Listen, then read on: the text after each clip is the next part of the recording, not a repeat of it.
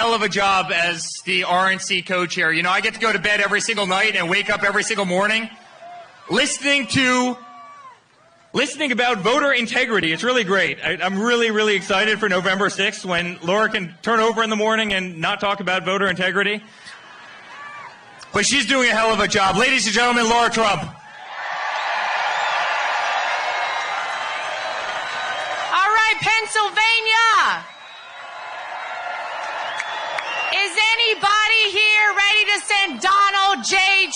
J. Trump back to the White House?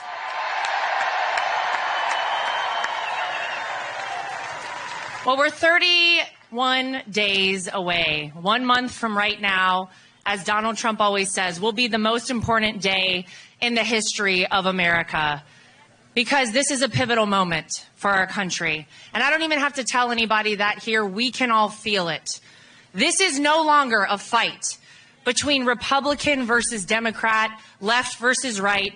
It is good versus evil and good is going to win this battle, ladies and gentlemen.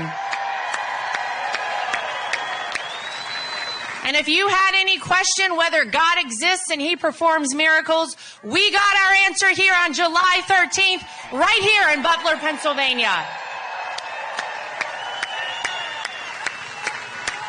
He spared Donald Trump's life because he was not finished with Donald Trump and he did it not once.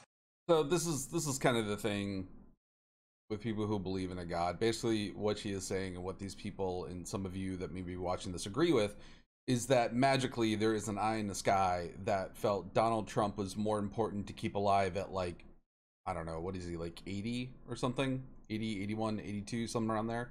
Than every kid with, you know, terminal cancer, every kid that's been, you know, raped, bit, beaten and murdered um, any family, any children recently in the hurricanes or earthquakes that have died. The amount of mental gymnastics that someone has to do to embellish themselves in that kind of worldview is really Olympic level. It's oh. But twice. And I've said it time and time again, but now you feel it more than ever. Donald Trump was made for such a time as this. Tell me again, it's not a cult.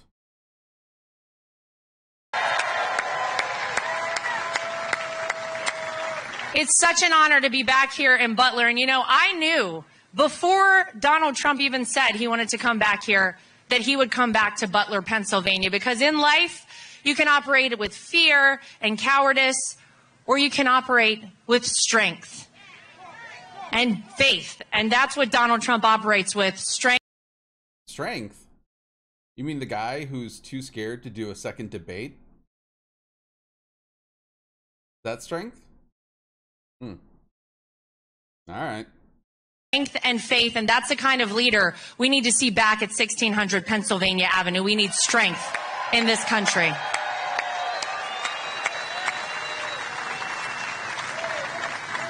And Eric's right.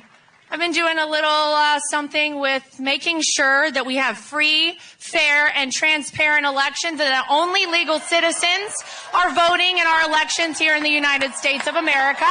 That's okay. Did she just say legal citizen? Hmm. It's been the number one focus of the RNC since I took over alongside our chairman, Michael Whatley, back in March. We have had a big goal of recruiting 100,000 people to volunteer as poll watchers, poll workers, legal experts on the ground. And we said, I don't know, 100,000 is a lot. I'm happy to report that we have trained 200,000 people across this country to do that. Train to do what? The RNC can't train people to be election officials. If she's talking about poll watchers, that's not an actual job. That doesn't exist. That's basically them saying they're trying to train people to conduct voter intimidation. Like poll watching isn't a job. It doesn't exist. I don't think you can like how would you determine fair and free and transparent? You can't force someone to talk to you about how they voted. Yeah, sounds like straight up voter intimidation.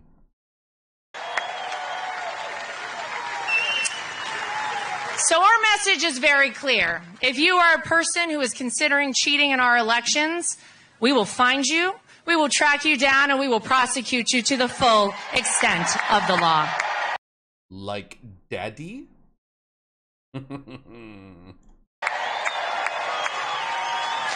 And if you're an illegal citizen voting in our election, we'll track you down and prosecute you to the full extent of the law, and you're leaving this country. How's that?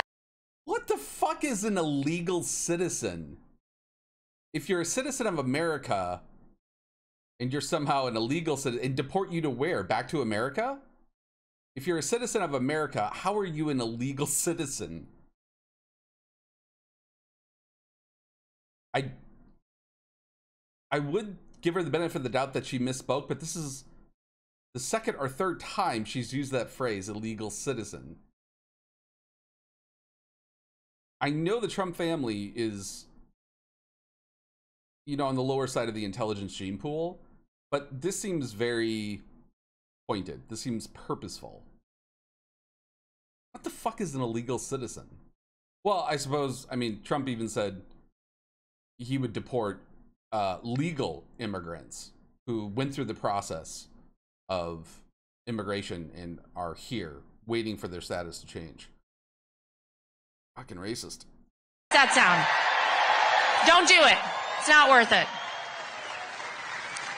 But real quick, before I go, is everybody in this crowd registered to vote? Don't vote by mail, right? Or do vote by mail. He's flip flopped so many times on that. Um, man, I just cannot get over this illegal citizen thing.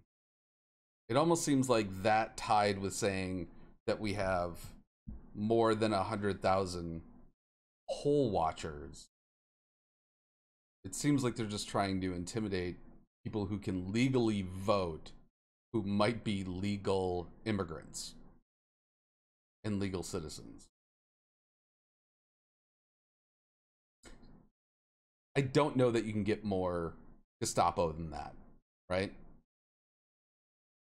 Well, unless they were to say they were to, they wanted to round up millions and millions of people and deport them out of America, even those who are legal immigrants. That would be more Gestapo. I guess it would also be more Gestapo if Trump talked about, I don't know, like jailing political opponents, but not producing any evidence that they broke any law. Yeah, no, it just sounds like they're a bunch of Nazikins.